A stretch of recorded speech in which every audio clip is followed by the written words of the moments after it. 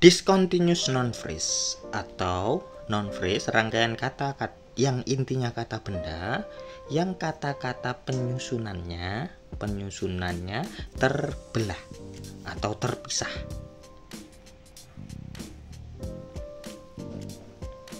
Discontinuous non phrase adalah non phrase yang kata-kata penyusunannya terbelah bagian post modifier seperti participle phrase, infinitive phrase atau relative clause dapat terpisah dari kata bendanya hingga akhir kalimat. Jadi kebanyakan diskon discontinuous non phrase itu khususnya untuk yang post modifier, teman-teman. Tidak ada yang salah dengan menunda sebagian non phrase posisi subjek. Alasannya, tindakan tersebut adalah untuk mencapai keseimbangan antara subjek dan predikatnya. Khususnya jika subjek yang berupa non phrase mengandung terlalu banyak kata. Jadi, rangkaian non phrase-nya terlalu panjang, sedangkan si predikat atau kata kerjanya biasanya terlalu pendek. Nah, jadi lebih baik munculkan dulu predikatnya baru lanjutkan isi dari si non phrase-nya.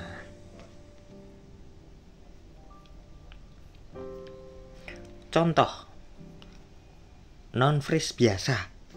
That car that she used for both business and personal purpose crashed into a pole.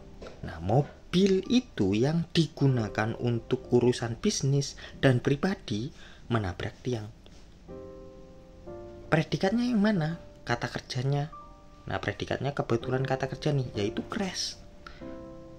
Terlalu jauh.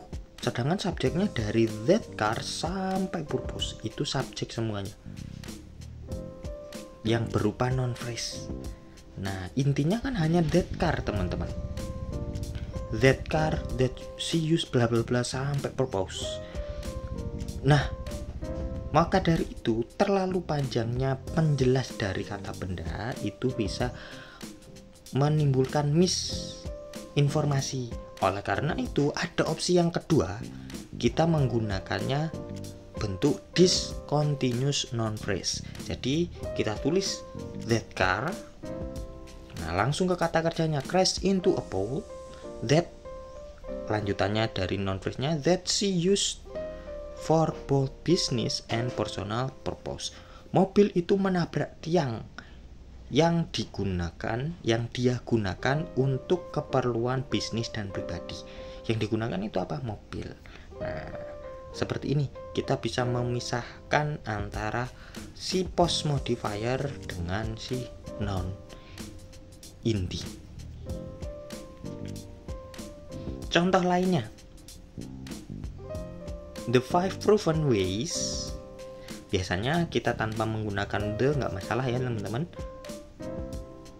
To lose stubborn belly fat and live a healthier life in a week. Nah itu subjeknya keseluruhan non phrase nya barulah muncul si predikat can be done Be done dan lanjutannya ada at home. 5 cara yang mengurangi lemak di perut yang keras, kepala yang keras ya. Dan hidup lebih sehat dalam satu minggu dapat dilakukan di rumah. Yang dapat dilakukan di rumah itu apa? 5 cara mengurangi lemak. Atau 5 cara saja. Sampai 5 cara Nah, sedangkan untuk mengurangi bla bla bla sampai satu minggu itu penjelas yang berupa to infinitif. Nah, bisa kita pisahkan, teman-teman. Jadi the five proven ways langsung ketemu kata kerjanya, langsung ketemu predikatnya can be done at home. Jadi lima cara yang terbukti dapat dilakukan di rumah. Nah, untuk menghilangkan lemak perut yang membandel dan menjalani hidup yang sehat dalam seminggu. Nah, yang membandel ya tadi kan di sana ada kesalahan tulis yaitu keras kepala yang membandel maksudnya nah langsung jadi kata kerja inti langsung ke uh, sorry kata benda inti langsung ketemu kata kerjanya nah baru penjelas lainnya dimunculkan setelahnya bisa seperti ini juga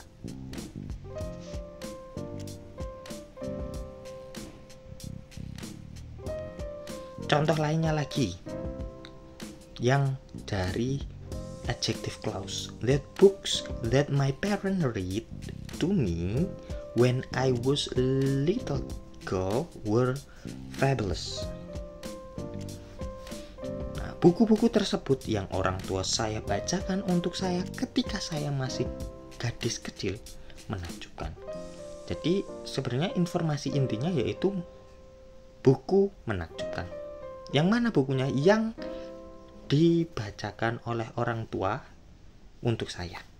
Kapan? Ketika saya masih gadis. Nah, di situ langsung saja nggak masalah seperti hanya contoh-contoh sebelumnya. Langsung kata kata benda inti ketemu predikatnya. The books were fabulous. Terus dikasih penjelasan di belakang. Buku-buku yang luar biasa. Yang apa? Yang gimana? Yang bagaimana? Yang that my parents read to me when I was a little girl yang dibacakan orang tua saya ketika saya masih kecil. Nah, jadi seperti ini diperbolehkan, teman-teman. Contoh lainnya participle. Nah, ketika jadi participle nih, two tourists stopping me and asking for direction to their hotel come from Canada. Nah, intinya kan sebenarnya dua turis yang datang dari Kanada. Ngapain mereka menghentikan saya dan bertanya arah ke hotel mereka?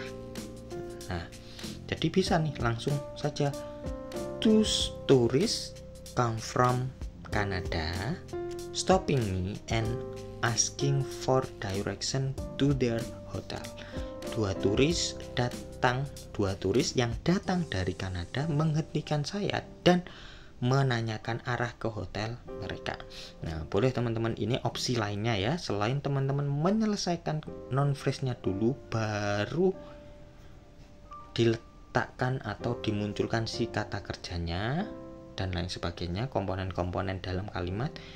Nah terutama ini ketika kita taruh si non phrase di subjek ya teman-teman. Nah ini kan subjek tadi ada dari sini saja ada the book that sampai girl itu subjeknya semuanya. Turis sampai their hotel itu subjeknya semuanya.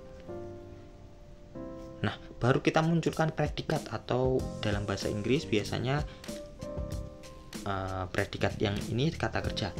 Nah, come. Baru munculkan ada were langsung. Jadi seperti itu opsi. Mau menulis langsung atau dipisah nah informasinya dipisah diperbolehkan. Thanks for watching